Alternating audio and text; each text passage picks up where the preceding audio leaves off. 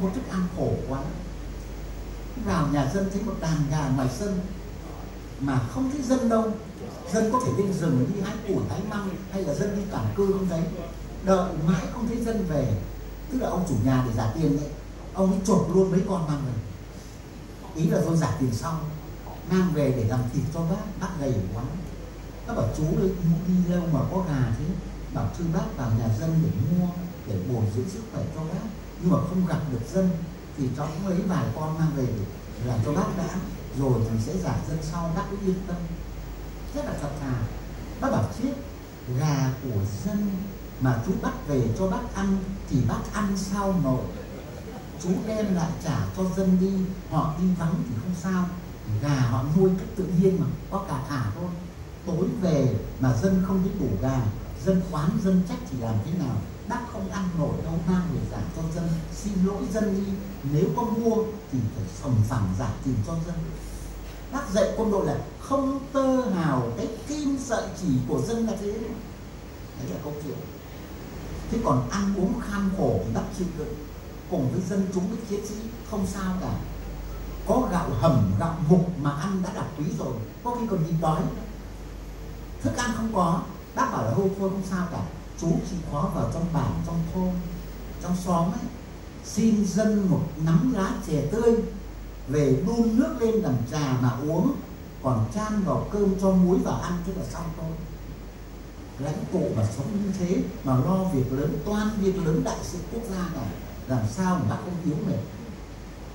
Ta càng thương bác cái vấn dân vận. Ấy.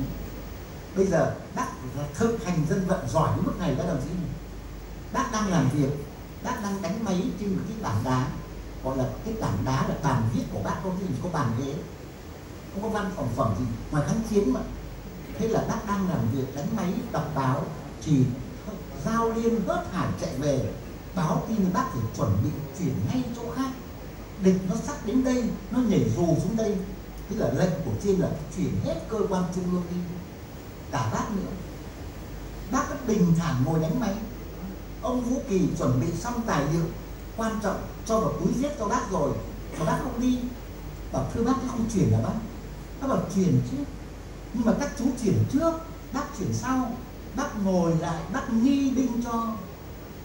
Chia thành nhóm nhỏ, đi ngay đi, khẩn trương lên. Tối đến đón bác đi. Bác nghi binh cho. Chiều tối đến đưa bác đi, thì trời đổ mưa tầm mưa tá không nhìn thấy gì cả. Tối đen như mực nước suối lũ tràn về như vậy, giao liên không đến. Bác bảo đồng chí vũ kỳ là vào nhà dân, chịu khó nói với chủ nhà cho đoàn cán bộ ngủ nhờ một đêm. Mai đã tính tiếp rồi bây giờ khuya quá rồi. Ông vũ kỳ nghe lời bác quay trở lại, đúng cái nhà ông chủ nhà. Có mỗi một chủ một cái làng thôi, mỗi một ngôi nhà. Nói thế nào ông cũng từ chối, không cho ở. Không phải người ta xấu đâu vì nhà người ta đang có việc. Con cái ốm sốt cao mấy ngày nay mà không có thầy cúng thầy mo đến chưa? Ngày xưa chứ còn thầy cúng thầy mo, chứ phải thức thuốc như bây giờ đâu. Thế mà bỗng nhiên lại có một đoàn người xa lạ đến xin ở. Ông có từ chối là phải thôi thế là về báo cáo bác đầu buôn câu chuyện như vậy. Bác nghe hết, bác bảo chú quay lại một lát nữa, chịu khó. Quay lại đúng chỗ đó.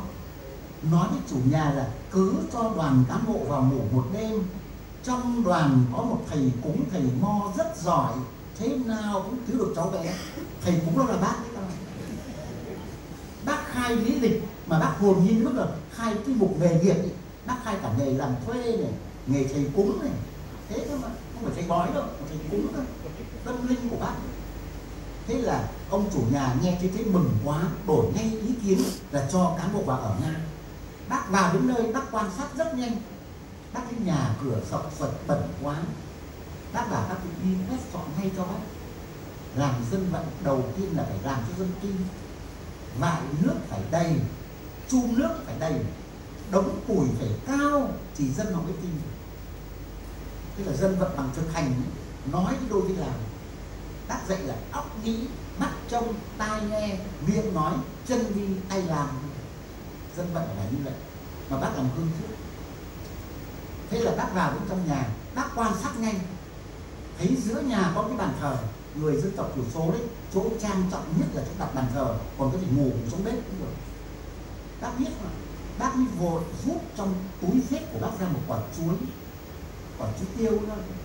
Bác bóc vỏ kết hoa rất đẹp để dỗ cháu bé. Và bác nhét ngay một viên thuốc giảm sốt vào ruột quả chuối, rất nhanh. Không ai biết cả. Sau đó bác bế cháu bé ra giữa nhà trước bàn thờ, bác quỳ xuống, đặt bên cạnh cháu bé. Bác vái, bác lạy, bác nói toàn bằng tiếng tây, tiếng thái.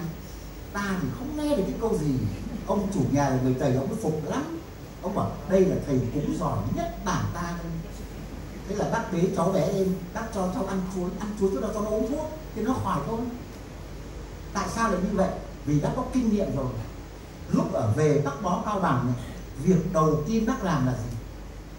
Đặt tên núi các mát suối là suối lê minh bây giờ còn ghi hết mà. Để lòng dặn lòng trung thành với lý tưởng. Nhưng không quên vẽ tượng phật trên vách núi cho dân thờ. Bác là người của dân, thấu hiểu lòng dân, mà bác cũng có tâm của nhà phật lắm. Ở thái lan bác đi tu đi chứ. Đi tu là làm dân vận, chứ không đi tu là đánh đời đâu. Khất thực cái này là để tìm hiểu phong trào đấy ngủ trong nhà chùa trong nhà sư như một vị sư vậy cũng là để làm làm quen với dân vận động cách mạng ở Thái Lan. Cái bộ phim là thầu chín ở xiêm đấy có đồng chí là nói về bác Hồ đấy đi tu đấy chứ. Đấy, dân vận là thế. Đặc biệt nữa bác Hồ dạy chúng ta một cái điều quan trọng là khuyết điểm nhiều thì ưu điểm sẽ ít. Mà ưu điểm nhiều thì khuyết điểm sẽ ít. Đó là lẽ thường tình. Cho nên phải sửa chữa khuyết điểm, phải tăng cường ưu điểm. Mà nếu khuyết điểm giảm đi thì ta sẽ mạnh, khuyết điểm mà tăng lên thì ta sẽ yếu. Đấy là lời rất phổ thông, giản dị như đời thường mà lại là chân lý đấy chứ còn về cán bộ, tôi nhắc lại câu chuyện cán bộ. Bác nói những điều mà bây giờ ta phải giật mình. Vì bây giờ ta nghĩ ra, còn bác nghĩ từ 70 năm trước. Bác đi trước thời đại là thế. Bác bảo xưa nay, cách mạng thành hay bại cốt ở cán bộ. Cán bộ giỏi, cán bộ tốt, phong trào thuận lợi, cách mạng thắng lợi, như